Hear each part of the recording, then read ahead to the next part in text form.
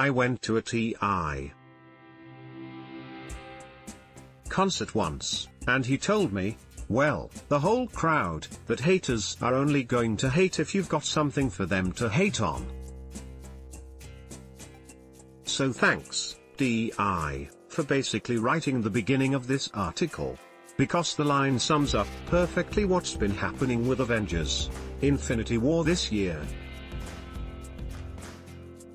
The latest Marvel installment has earned around $2 billion at the box office and ecstatic praise from its hordes of fans, all serving as an incentive for the aforementioned haters. But there's one thing the critics keep coming back to. And it has to do with the movie's ending.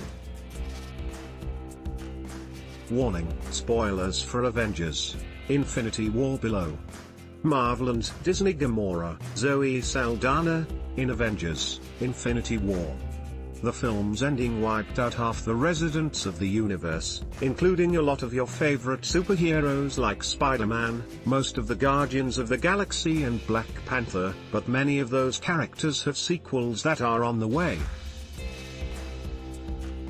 I loved Infinity War. I loved it so much I want to marry it. I too, however, can be counted among the ending aggrieved haters. I previously wrote about how the Marvel masterminds basically lied to us about the permanency of the film's deaths. Death is death. Infinity War writer Stephen McFeely told me in an interview before the premiere. If we say goodbye to some characters, we will say it permanently, he added later. Ah, Spider-Man 2, Guardians of the Galaxy Volume 3 and Black Panther 2 beg to differ, dude.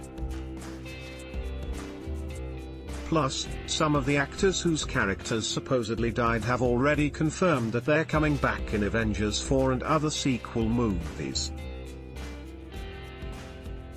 My colleague Matt Jacobs laid out his beef with the deaths in an essay titled The End of Avengers. Infinity War is what happens when money writes movies, Marvel Studios is a business. First, owned by Disney, and a story factory second. And because it's a business, we know how many movies certain actors are contracted for and which ones have sequels already in development.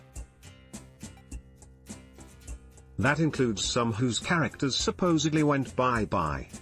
We said our piece, and now the Infinity War directors, Joe and Anthony Russo, are responding. I asked the Russo brothers for their thoughts on the criticism, and about the fact that we'll see dead characters coming back in sequels, but they stuck to their guns. Here's the thing. I think it's important to remember anything is possible in the MCU, Marvel Cinematic Universe, Anthony said. Just because there's a sequel on the books doesn't mean. People become accustomed to time moving linearly in the MCU. That doesn't necessarily have to be the case. There's a lot of very inventive ways of where the story can go from here.